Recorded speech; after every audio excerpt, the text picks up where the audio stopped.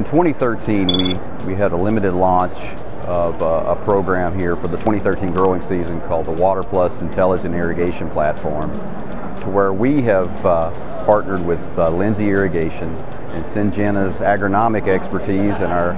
portfolio of seed traits and crop protection products with Lindsay's irrigation expertise and technologies to offer uh, the growers a program to, to ultimately grow more corn with less water while putting them in control of their pivots. Uh, the product components are, are the AgriSure traits, the, our early season weed control with our Callisto plant technology, and our plant performance portfolio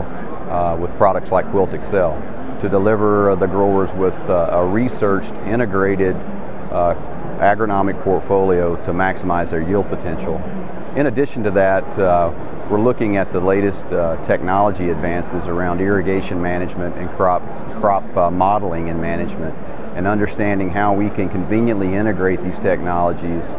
to grow more corn with less water. This has been a three-year effort in testing with growers on their pivots in Nebraska and Kansas. And ultimately what we've been able to do is deliver seven bushels of incremental yield to corn growers with uh, 25% less irrigation water compared to their normal production and irrigation practices. So we have delivered on our hypothesis to deliver more corn with less water,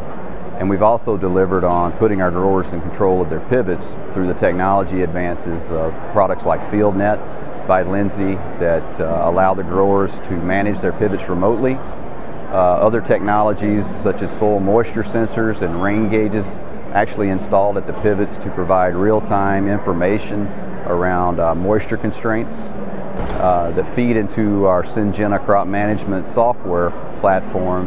that enables the grower to understand their crop today, what management decisions need to be made, whether they be nitrogen, irrigation, or maybe crop protection inputs,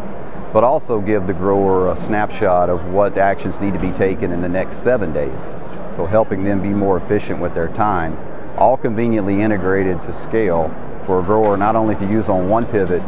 but possibly multiple pivots and multiple geographies as growers' operations get larger.